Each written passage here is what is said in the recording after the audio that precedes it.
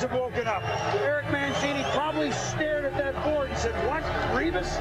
With the 14th pick in the 2007 NFL Draft, the New York Jets select Darrelle Revis, You know, there, there's a lot of good corners in this league, but there's only one Darrelle Revis. Not a good corner, not a great corner a generational corner. You find one of these guys once every 15 to 20 years. Third and seven, Matt Moore has time. Right to Revis, interception. Revis. Man, he wasn't just good. He was, he was second to Deion Sanders on my all-time corners list. Sign comes back to the sideline, and he's gone. All they want to know is who's he on? Who's he covering? Because if they know if he's on you, then you've got a long day.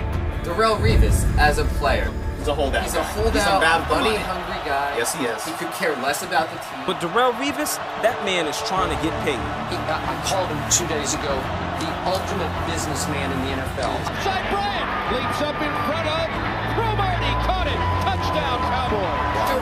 Darrelle will be remembered as obviously one of the best corners, if not the best corner, but an excellent businessman. Come on, Lou. Hey, come on, Lou. You better put two balls. My Now they are moving Darrelle Revis on Dez Bryant. I was interested to see who are they going to match him up with. Who says I deserve to be validated by $16 million? Not that I need to spend the 16. I just want everybody to know I'm worth $16 million.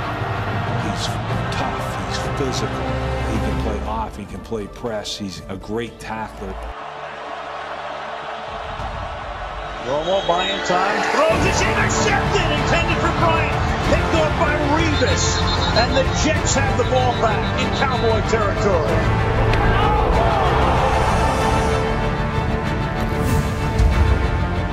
If, if, if Revis holds out this year, how would it What a affect bounce his for the Jets.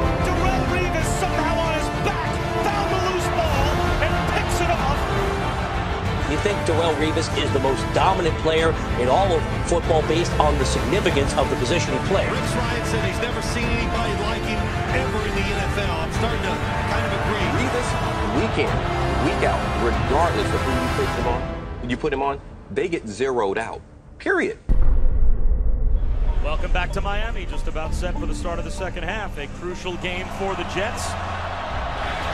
Tannehill over the throw across the field to Thomas. Nice play, and Thomas weaves his way for a first down. David Harris tripped him up. Darrelle Revis is down, and the Jet training staff It felt like take a look. somebody had a knife and just cut through my knee. Number one, there's not a great relationship between Jets, uh, between Revis and the front office and the ownership. He hasn't heard from the This owner. is also pretty amazing for a lot of Buccaneers fans. The deal is done. The Buccaneers now have arguably the best defensive back in all of football on their roster, Darrelle Revis. You're never getting a player this good again, especially the Jets, as incompetent a franchise as they are. They have Barron, they have Wright playing in the corner, and now they have Revis, who's the best corner on the planet. We calculated yesterday on NFL Live. He's made over $70 million. There's not a better zone, there's not a better man. You name the defense, he's the best at it.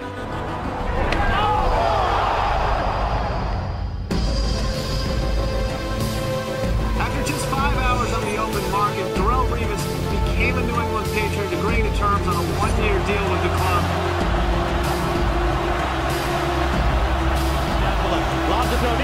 Picked off by Darrelle Revis. Place is nuts! Warm up the buses! Darrelle Revis, the king of free agency. he is always free and he